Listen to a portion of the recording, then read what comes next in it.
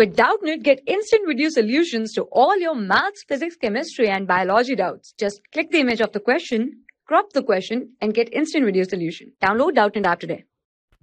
In the question we are given that if the value of x is greater than or equal to 0 and the value of y is less than or equal to pi and sin x plus sin y is equals to 2 then we have to find out the value of x plus y equals to okay so first of all if we draw up the sine curve if we draw up the sine curve. So this is the sine curve. Let's suppose over here we have the Cartesian plane.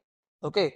So we have this as a Cartesian plane and the sine curve goes from this this will be the sine curve right? That is the maximum value of sine curve is plus 1 and the minimum value of sine curve is minus 1 right?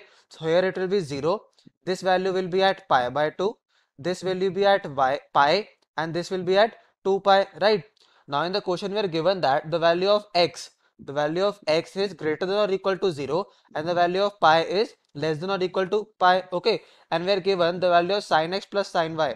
The value of sin x plus sin y is equals to 2. Now the value of sin x and sin y can grow from that is the value of sin x can grow from minus 1 to 1 and similarly the value of sin y also can go from minus 1 to 1 right now if we take the value of sin x as minus 1 minus 1 minus 1 right?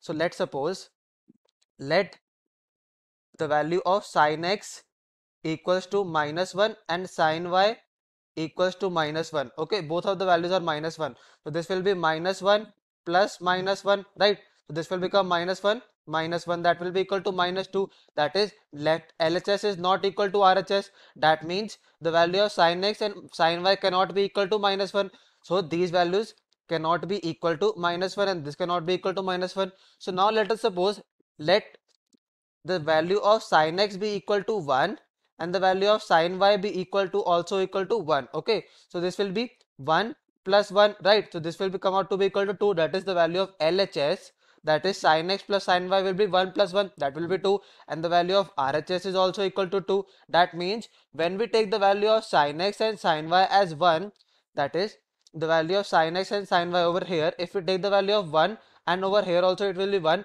then only will be resulting in the value of 2 that means we can simply say that the value of sin x and sin y in this particular question is the value of sin x is 1 and the value of sin y is also equal to 1 now in the question it was given that the x goes from greater than or equal to 0 and the y is from less than or equal to pi. Okay. If we see that the sin x equals to 1 which is greater than or equal to 1 now the value of sin x equals to 1 for greater than or equal to 0. So we see that the sin x equals to 1 is here. Sin x equal to 1 will be here which is greater than or equal to 0. Therefore this value is for pi by 2. So the value of x will be the value of x will be equal to pi by 2 over here right and the value of y over here. We need the y value as less than equal to pi and sin y is given to us as 1.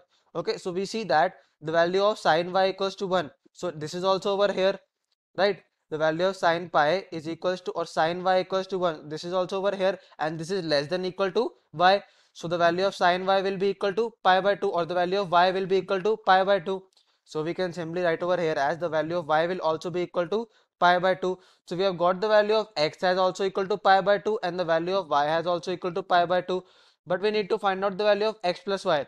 Because in the question it was given that we need to find out the value of x plus y. So x plus y will be equal to x plus y will be equal to pi by 2 plus pi by 2 right? So this will be equal to 2 pi by 2 or we can simply write this as pi. So the value of x plus y has come out to be equals to pi. So this was the answer of the question.